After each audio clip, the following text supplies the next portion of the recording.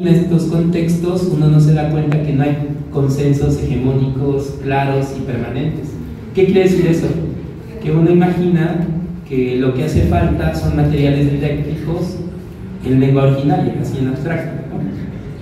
Pero, por ejemplo, para hablar de una característica concreta, para nombrarlo con nombre y apellido. Si ustedes visitan cualquier municipio que se reivindica como parte de, una identidad de los pueblos originarios, no van a encontrar consensos hegemónicos permanentes. Hay una diversidad de juntas auxiliares, de, eh, de comunidades, de procesos organizativos, de asambleas que se reivindican nuevamente como hacedores de la lengua y como productores de una norma de escritura que los distingue ante otro colectivo.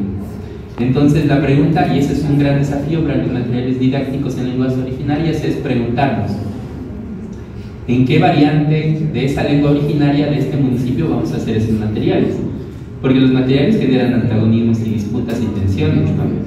Cuando un, grupo político, hablamos del poder y la lengua, gran debate, eh, reivindica esta la verdadera forma de escribir esta lengua, habrá otros cuatro o cinco grupos al menos que van a reivindicar otra forma u otra norma de escritura igualmente equiparable.